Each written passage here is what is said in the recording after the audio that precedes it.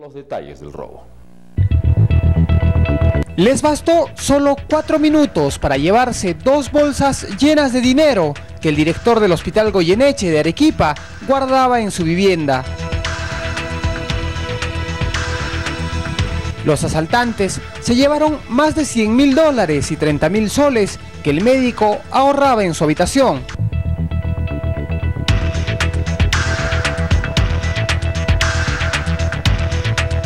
Las cámaras de seguridad captaron todos los movimientos de los zampones, que incluso un día antes acecharon su vivienda y la de sus vecinos.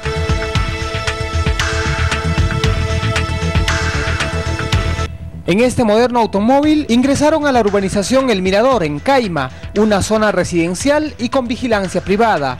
Luego tocaron las puertas de las viviendas para saber cuál estaba vacía. Se va a tener que poner el sistema eléctrico también permanentemente y se va a reforzar con algunas cámaras más.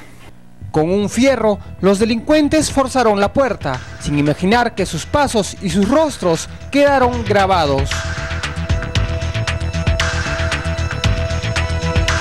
Tras ubicar el dinero, la banda huyó rápidamente. El médico, quien retiró el dinero de una entidad bancaria para una transacción, pues los delincuentes sabían la ubicación exacta del dinero y de las joyas de su familia. Según la policía, se trataría de una banda que llegó de Lima.